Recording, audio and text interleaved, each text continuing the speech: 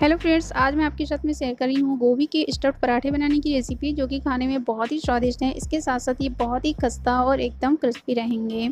उम्मीद है कि आपको रेसिपी ज़रूर पसंद आएगी तो प्लीज़ वीडियो के नीचे लाइक का बटन है, उसे क्लिक करना ना भूलिएगा और मेरे चैनल को सब्सक्राइब करना ना भूलिए फ्रेंड्स तो यहाँ पर आप देख रहे हैं फ्रेंड्स ये जो पराठा है, चारों तरफ़ इसकी स्टफिंग फैल चुकी है। इस तरह से अगर पराठे में स्टफिंग फैल जाती है तो पराठे खाने का जो मज़ा है डबल हो जाता है। सब्सक्राइब कीजिए फ़ूड चैनल को एंड हिट कर दीजिए बेल आइकन को ताकि मेरे लेटेस्ट वीडियो आपको मिलते रहें। नमस्कार दोस्तों, मेरा नाम है सुषमा, आप देख रहे हैं ओपीट तो चलिए, आज कुछ नया बनाते हैं। गोभी पराठा बनाते समय पे हम हमेशा कंफ्यूज होते हैं कि पहले स्टफिंग रेडी करें या फिर डो रेडी करें। तो मेरा कहना है कि फ्रेंड्स सबसे पहले तो आप डो रेडी कीजिएगा। इससे क्या होगा कि सबसे आटा जो है अच्छे से फूल जाएगा तो जो पराठे हैं अच्छे बनेंगे। तो सबसे पहले हम यहाँ पे डो रेडी कर लेते हैं, उसके बाद में स्टफिंग रेडी कर लेंगे। तो थोड़ा सा मैंने यहाँ पे आधा चम्मच नमक डाल दिया है, आधा छोटी चम्मच अजवाइन डाल दिया है। अजवाइन डालने से बहुत बढ़िया फ्लेवर आता है पराठे में और इसको थोड़ा सा यहाँ पे हम घी या ऑयल डाल सकते हैं। तो मैं यहाँ पे घी डाल रही हूँ, थोड़ा सा मेल्ट कर लिया है मैंने यहाँ पे। टू से थ्री टेबल स्पून के करीब मैं यहाँ पे घी ऐड कर रही हूँ। इससे क्या है, पराठे अच्छे खस्ता बनेंगे। आप चाहे तो यहाँ पे ऑयल भी ऐड कर सकते हैं। अब क्या करना है? हमें इसे अच्छी तरीके से मिक्स कर लेना है। इसमें नमक ज़रूर डालिएगा। जब भी अगर आप आटा गूंदते हैं तो इसमें नमक डालिए और थोड़ा सा ऑयल या घी डालिएगा। अजवाइन भी ज़रूर डालिए। इसमें बहुत बढ़िया मतलब फ्लेवर आता है। उसके साथ साथ डाइजेशन के लिए बहुत अच्छा होता है। पानी यहाँ पे थोड़ा थोड़ा डाल के ही हमें आटे को गूंदना है। आटा हमें सॉफ्ट रेडी करना है। ना ही एकदम सख्त रखना है और ना ही एकदम से गीला रखना है। परफेक्ट आटा गूंद के हमें रेडी करना है। तो यहाँ पे हमने आटे को अच्छे से गूंद लिया है। अब हमें क्या करना है? इसे ढक के रख देना है। जब तक हम स्टफिंग रेडी कर लेते हैं, तब तक हमारा आटा जो है अच्छे से सेट हो जाएगा। तो मैंने यहाँ पे फूल गोभी दो छोटी छोटी लिया था। आप चाहे तो बड़ी भी ले सकते हैं। इसे मैंने पहले तो तोड़ के अच्छे से तीन से चार पानी धो लिया है। उसके बाद ही मैं यहाँ पे ग्रेट कर रही हूँ फ्रेंड्स तो आप इसी तरह से कीजिएगा। अगर आप खड़ी गोभी को एकदम डायरेक्ट ग्रेट कर लेते हैं तो कभी कभी होता है, कीड़े रह जाते हैं, इसलिए हमें पहले पूरा चेक करके ही उसे जिस तरह से हम सब्ज़ी के लिए तोड़ते हैं और साफ़ धो लेते हैं, उसी तरह से हमें यहाँ पे भी धो लेना है। तो यहाँ पर इसी तरह से हम गोभी के फूल को ग्रेड कर लेंगे। मैंने यहाँ पे सभी फूल को ग्रेड कर लिया है। अब हमें डायरेक्टली एकदम से स्टफिंग रेडी नहीं करना है। सबसे पहले हम इसे अच्छे से निचोड़ लेंगे क्योंकि इसमें पानी रहता है।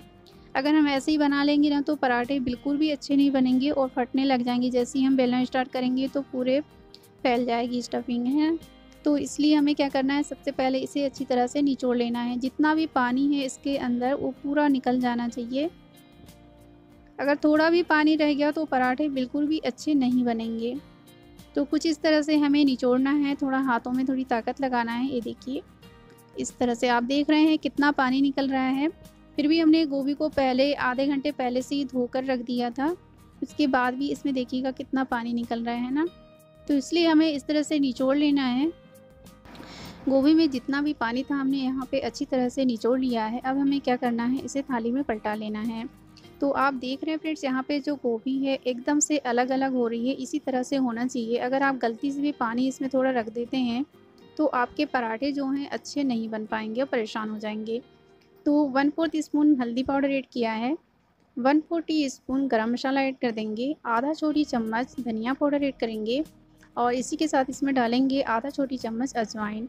अजवाइन डालने से बहुत बढ़िया फ्लेवर आता है। इसके साथ साथ डाइजेशन के लिए बहुत अच्छा होता है। आधा छोटी चम्मच जीरा डाल देंगे और आधा छोटी चम्मच रेड चिली पाउडर ऐड करेंगे। अब कम ज़्यादा मिर्च को कर सकते हैं। तीन से चार हरी मिर्च लिया है आधा छोटी चम्मच चाट मसाला। एक छोटी चम्मच अदरक ग्रेटेड किया हुआ डाला है। आप चाहे तो यहाँ पे गार्लिक भी डाल सकते हैं। आधा छोटी चम्मच नमक ऐड किया है और इसमें अब डालेंगे हम ढेर सारी हरी धनिया। हरी धनिया डालना बहुत ज़रूरी है। और बहुत बढ़िया फ्लेवर आता है। आप चाहे तो यहाँ पर प्याज भी बारीक कटे हुई ऐड कर सकते हैं बट एक चीज़ का आपको ध्यान देना है कि जब भी अगर आप इसमें प्याज डाल रहे हैं तो इसे भी अच्छी तरह से निचोड़ लीजिएगा। मैंने यहाँ पे एक बड़ा प्याज को बारीक चॉप कर लिया है। इसका स्टफिंग मैं अलग बना लेती हूँ, क्योंकि किसी को प्याज का पसंद रहता है, किसी को नहीं रहता है। अगर आपको प्याज इसमें पसंद है तो आप इसमें ज़रूर डालिएगा। मैं भी यहाँ पे अलग बना लेती हूँ थोड़ा सा। कभी कभी बच्चों को क्या है कि प्याज का फ्लेवर पराठों में पसंद नहीं आता है तो कुछ इस तरह से आप अलग स्टफिंग बनाकर रेडी कर सकते हैं। प्याज को मैंने अलग ही रखा है, बस एक चीज़ का ध्यान देना फ्रेंड्स कि जब भी अगर आप इसमें प्याज मिला रहे हैं तो प्याज को भी हल्का सा निचोड़ लीजिएगा। है ना? नहीं तो क्या होगा कि स्टफिंग जो है आपकी थोड़ी सी गीली हो जाएगी तो पराठे बेलने में दिक्कत जाएगी। तो यहाँ पे डो हमारा अच्छे से सेट हो चुका है, फिर भी हम इसे एक बार और मसल लेते हैं। हाथ में आधा छोटी चम्मच घी ले लिया है मैंने यहाँ पर। और आटे को हम अच्छे से मसल लेंगे। जितना ज़्यादा हम आटे को अच्छे से मसलेंगे, उतने ही अच्छे हमारे पराठे जो हैं अच्छे एकदम खस्ता और क्रिस्पी बनेंगे। तो कुछ इस तरह से मैंने यहाँ पे मसल लिया है। अब हमें क्या करना है, यहाँ पे पेड़े हम थोड़े से बड़े साइज़ के तोड़ लेंगे। तो चलिए यहाँ पे हम पेड़े जैसे तोड़ लेते हैं, तीन से चार एक साथ। और एक पराठा मैं आपको यहाँ पे बना कर दिखाती हूँ। अब हमें क्या करना है, आटे में इस तरह से थोड़ा सा लगा लेना है, ताकि पराठे बेलते समय पे दिक्कत ना हो। इसकी कटोरी बना लेंगे। जिस तरह से हम कचौड़ी के लिए तैयार करते हैं ना सेम, वैसे ही हमें इसमें भी रेडी करना है। तो आप देख रहे हैं फ्रेंड्स यहाँ पे जो कटोरी हमारी बनकर रेडी हो चुकी है, अब हमें क्या करना है? इसके अंदर हम स्टफिंग डाल लेंगे। तो जो भी स्टफिंग आपको पसंद है, प्याज वाली ये जो भी बनाना चाहते हैं तो वो आप बनाइएगा। तो मैं यहाँ पे प्याज वाली पहले बना लेती हूँ एक। और इस तरह से हमें फोल्ड करना है। ये देखिए। स्टफिंग को थम से इस तरह से अंदर करते रहना है। अगर आपसे कटोरी जैसे नहीं बनता है तो आप क्या करें पूड़ी जैसे बेलकर उसके अंदर स्टफिंग डालकर इस तरह से फोल्ड कर लें। ये जो मैंने अभी आटा निकाला है, आप चाहे तो इसे निकालें या फिर उसे वहीं पे दबा दें। इसे गोल गोल घुमाते हुए हम इस तरह से दबा लेंगे, ताकि स्टफिंग जो है बाहर ना निकले। तो चलिए इसे बेल लेते हैं। थोड़ा सा आटा फिर से लगा लेते हैं।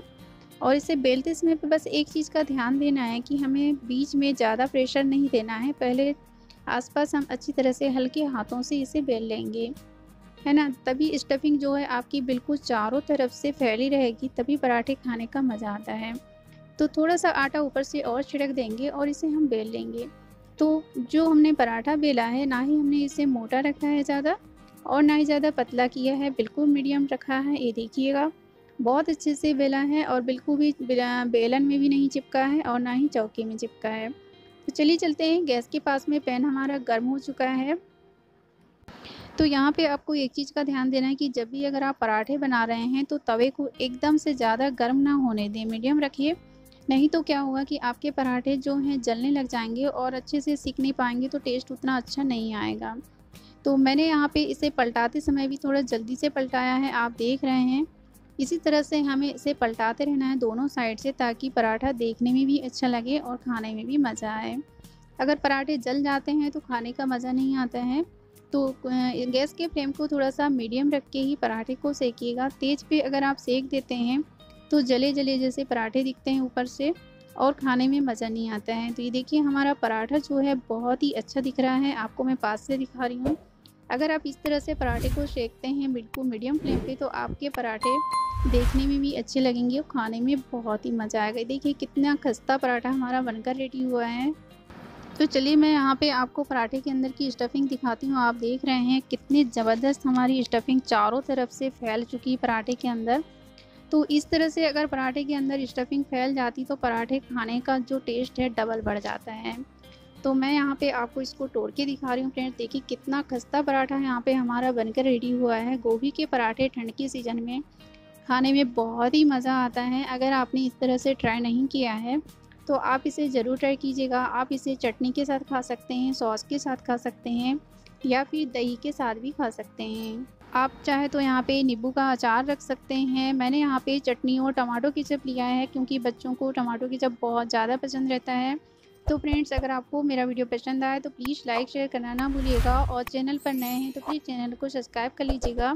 सब्सक्राइब के पास में बेल आइकन की बटन है, उसे भी क्लिक कर दीजिएगा ऑल को प्रेस कर दीजिए ताकि वीडियो की नोटिफिकेशन सबसे पहले आपको मिल जाएगी। Thank you.